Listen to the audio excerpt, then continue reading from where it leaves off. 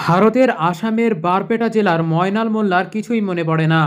কে মোদি, কে প্রধানমন্ত্রী, কে আসাম চালায়, কার হাতে কয়টা ছড়ি, তাতে তার কোনো মাথা ব্যথা নেই।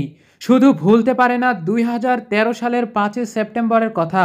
সেদিন তাদের গাবুড়া গ্রাম প্রধান তাকে পুলিশের হাতে তুলে দেন। পুলিশের তালিকায় তার নাম আছে, গাবুড়া সেই কথায় তাকে বলেছিলেন।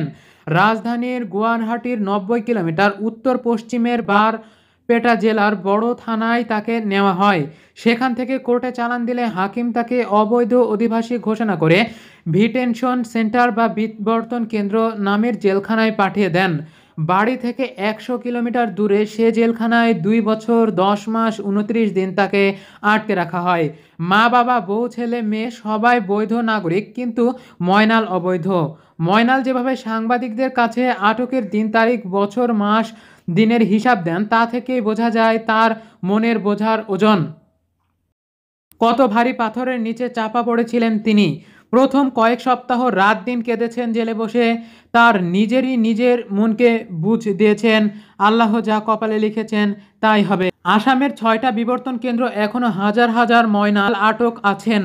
আটক কেন্দ্রগুলো ঘুঘু কর্মকর্তারা আটক মানুষের দুই ভাগে ভাগ করে রাখছেন। এক বাংলাদেশি, দুই সন্দেহভাজন বা ডাউটফুল ভোটার। এই মুহূর্তে প্রায় দেড় লাখ মানুষ ঝুলে আছেন সন্দেহভাজন তালিকায়। সাংবাদিকেরা আটক কেন্দ্রের দায়িত্বে থাকা জেলারদের কাছে জানতে চেয়েছিলেন, কিসের ভিত্তিতে তারা আটক মানুষেরকে ভাগ করেছেন।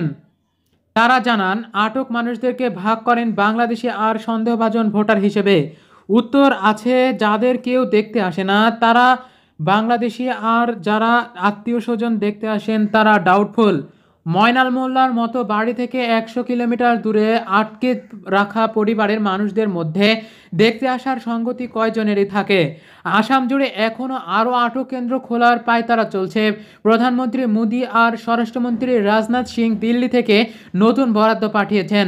জলদি সব কিছু সেরে ফেলারও তাগিদ কেন্দ্রের এর মধ্যে আদালতে বেঁধে দেওয়া সময়সীমার শেষ দিন তিরিশে জুলাই চল্লিশ লাখ লোকের নাম বাদ দিয়ে জাতীয় নাগরিক পঞ্জির চূড়ান্ত খসড়া তালিকা ঘোষণা করা হয়েছে।